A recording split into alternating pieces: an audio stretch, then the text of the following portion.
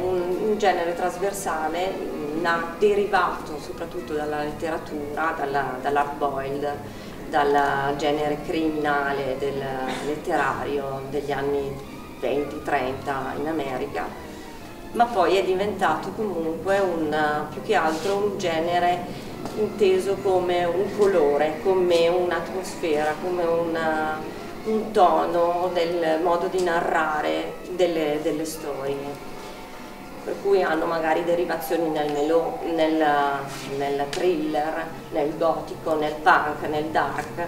Insomma, il noir è un po' dappertutto in questo modo è sopravvissuto fino ad oggi. E, e quindi insieme abbiamo cercato in qualche modo di creare un'atmosfera che eh, riproducesse il noir e che eh, con un gioco di luci e ombre ehm, costruisse un percorso all'interno della sala.